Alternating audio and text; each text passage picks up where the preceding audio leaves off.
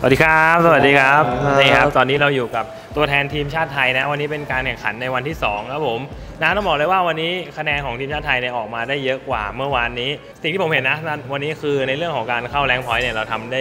ดีมากขึ้น แต่ไปดูมุมมอง player ดีกว่า คิดว่ายังไงว่าวันนี้ดีขึ้นกว่าเมื่อวานไหมหรือว่ายังมีจุดข้อผิดพลาดที่เรายังแก้ไขไม่ได้ วันนี้เราก็ถือว่าดีกว่าเมื่อวานเยอะครับ แต่เราก็สามารถทำได้ดีกว่านี้อีก ถ้าเราเก็บข้อ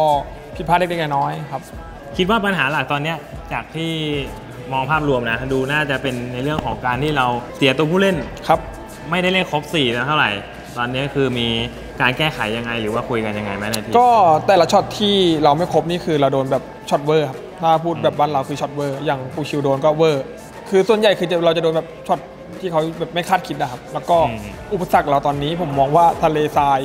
พายุทะเลทรายกับพายุหิมะ เริ่มมีผล ใช่ครับแต่วันนี้แหละวันนี้เห็นแล้วว่ามีผลนะแต่ดูแล้วเนี่ยจาก 2 วันที่ผ่านมามิราม่าเหมือนยังไม่ค่อยเป็นปัญหาเท่าไหร่ อันนี้ถามฝั่งพี่จักรแล้วกันณตอนเนี้ยในมุมมองโค้ชพี่มองว่าแผนที่ไหนที่ค่อนข้างน่าเป็นห่วงสำหรับทีมเรานะคิตอดนว่านี้คิดว่าอิรันเกลอีรันเกลนะเพราะว่าเมื่อวานก็ทำได้ไม่ทำได้น้อย วันนี้ก็กระเถิบขึ้นมาบ้างอย่างเงี้ยอืม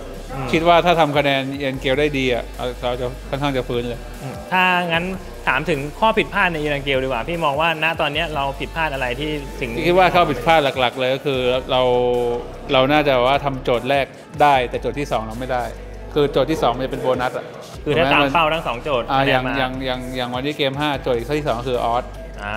ถ้าเกมถ้าเกมนั้นทำออสได้แล้วก็จะมีโบนัอ๋สอใช่หน่เพราะว่าหรืออย่างเกมพื้นที่ของเขาไปต่เกมที่หกอะ ถ้าเรารับ UK ได้เราก็จะมีโบนัสต่ออืมอืมเออแต่ว่าโจทย์แรกที่ว่าเราโจทย์เข้าวงอะไรมีที่เล่นน่ะเรามีนะอะครับผม แต่ว่าแต่ว่าเราเราเจอโจทย์ที่สองก็ประมาณนี้สำหรับอีรันเกลแล้วอย่าง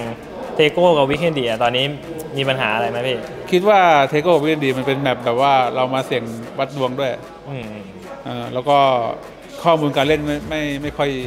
เรียกว่าไม่ค่อยเยอะเท่าไหร่ ครับ ก็เลยก็เลยให้อิสระน้องเลยว่าเอาไหนก็เล่นเลย ถ้างั้นมาถามคำถามที่คนดูน่าจะอยากรู้ดีกว่าสำหรับเกมเกมแรกโอเคเราเข้าใจอยู่แล้วว่ามันเคลื่อนที่ค่อนข้างยากตอนช่วงท้าย แต่อยากรู้มุมมอง player ว่าเกมที่สองอะ มีโอกาสที่เราจะยึดเขาได้ก่อน อันนี้คือมุมมองจากคนภายนอกที่เห็นว่าโอเคเขามันว่างอยู่แต่ในมุมมอง player นะตอนนั้นคุยกันยังไงครับ ที่ตัดสินใจ